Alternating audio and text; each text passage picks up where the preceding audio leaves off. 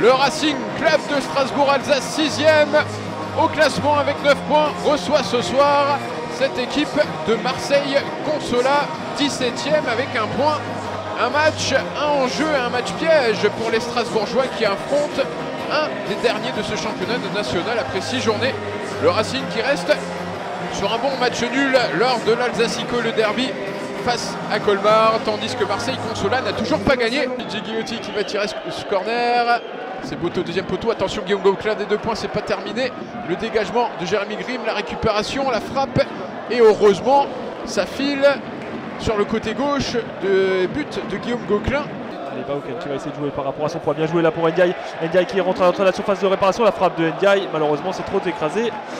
Allez, mais enfin, on a vu un petit mouvement. Très humide.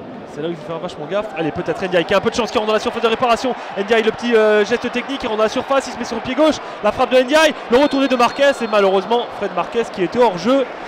Sur ce score, nul et vierge de 0 à 0, les deux équipes se quittent dos à dos et il n'y a pas eu beaucoup d'occasions à hein, se mettre sous la dent. Et Fachon qui est pas prêt, Fachon qui botte euh, ce coup franc.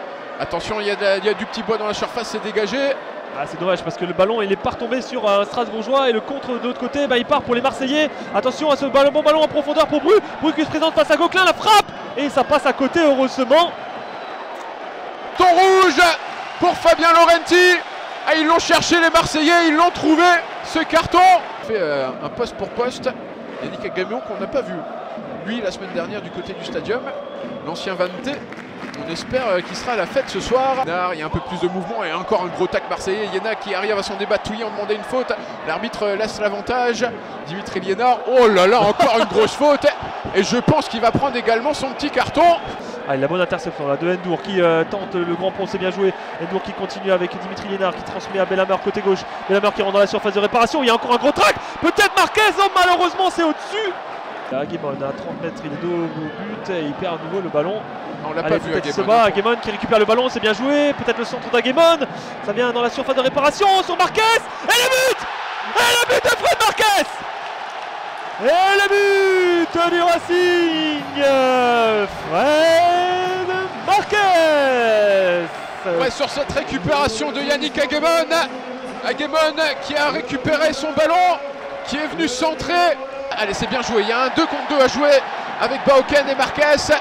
Allez, Marquez qui se file face au but. Fred Marquez, Fred Marquez, l'intérieur du pied. Hors jeu, hors jeu, hors jeu.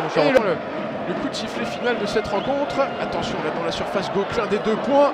Heureusement, il n'y avait personne à la récupération si c'était un Strasbourgeois. Allez, le ballon poussé là pour Fred Marquez. Guéban qui est sorti.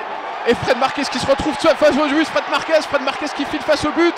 Qui ouais et le but Le deuxième but d'Abdelak Belamer sur ce ballon dégagé. Fred Marquez qui est parti à la limite du hors-jeu au niveau de la ligne médiane qui file face au but. Ils veulent être invincibles. La Mélo doit être une forteresse. Et c'est terminé sur cette troisième victoire du Racing en National cette saison sur le score de 2 buts à 0.